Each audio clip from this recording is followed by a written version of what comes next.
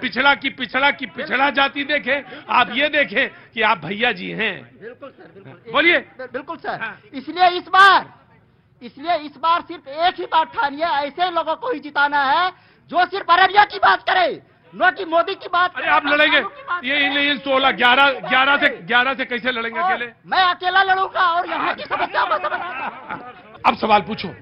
एक एक बात और ऐड कर देते हैं आपकी लोकप्रियता इतनी है मेरी माँ एक घरेलू महिला है टीवी कभी कभार देखती है लेकिन आपका शो प्रत्येक दिन देखती है। आज भी वो देख रही होगी। मैं आपसे एक बात कहता हूँ। आपको बहुत साधुवाद। और भैया उनसे कह मेरा चरण स्पर्श उनसे करना है। ना?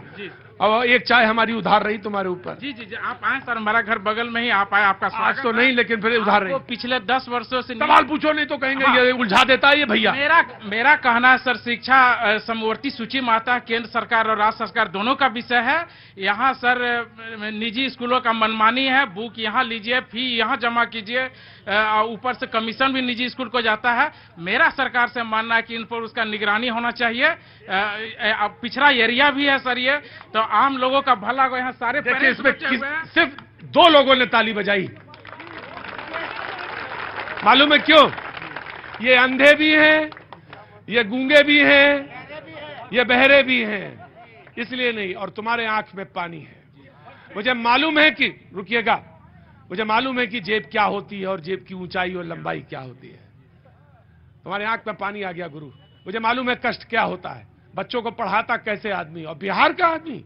मैं बार बार जो कहता हूँ कि मैं बिहार में पैदा हूँ।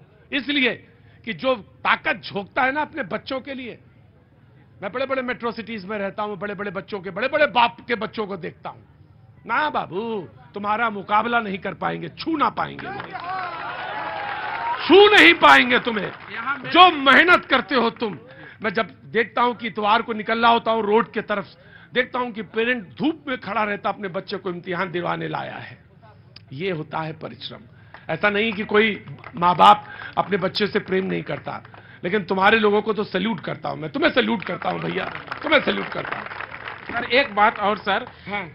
हमारे प्रधानमंत्री जी बहुत अच्छे कर भी रहे हैं। आगे बोल रहे हैं कि थर्ड टर्म और बड़े और कड़े फैसले होंगे। तो मेरा प्रधानमंत्री से मांग है कि एक समान शिक्षा जम्मू से के अरनिया से लेकर बिहार के अररिया तक एक समान शिक्षा होनी चाहिए। सबके लिए गुणवत्तापूर्ण और सुलभ शिक्षा होनी चाहिए। चाहे गरीब हो, अमीर हो, सबके लिए सर,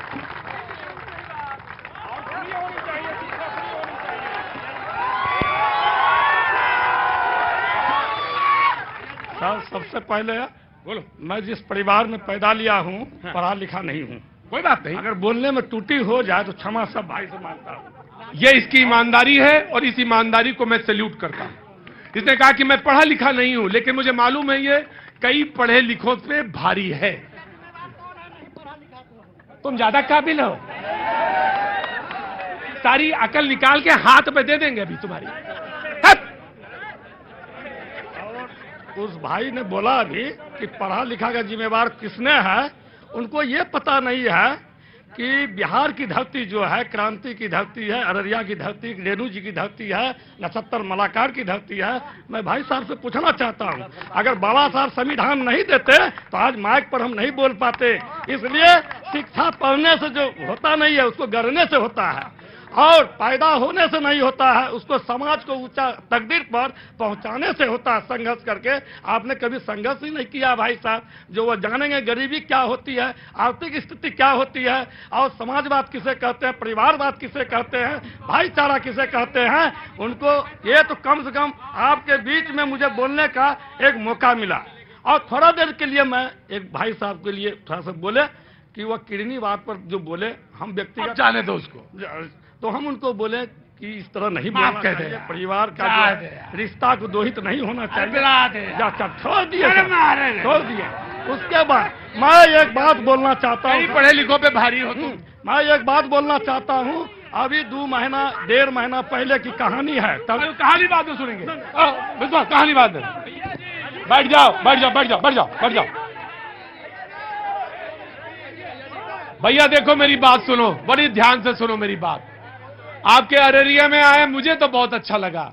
और जो यहाँ कहता कि नहीं पढ़े लिखे वो भी कई पढ़े लिखों पे भारी है। तो तुम तो बड़े भारी आदमी हो विश्वास। ये बात है? रो रहे हो? हो? क्या हुआ? बोलते हैं लोग कि अरे रो, लोग बोलते हैं मोदी जी कुछ नहीं किए हम एक मिनट लेना चाहते हैं। हाँ बोलो। गैस बंटवाए मोदी?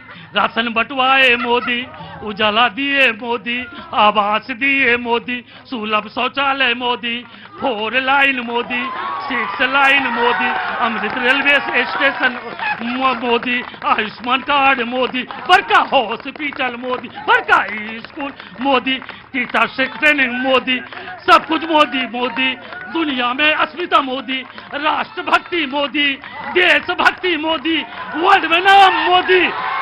अरे भैया अरे भैया बहना, अरे भाई भैया बहना बूढ़ा नौजवान कहता मोदी बने पीएम हिंदुस्तान कहता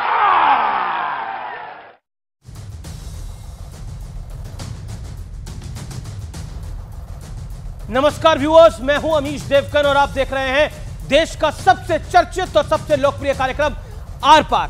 देश में एक बार फिर डर की दुकान खुली है और इस बार ज़रिया बना है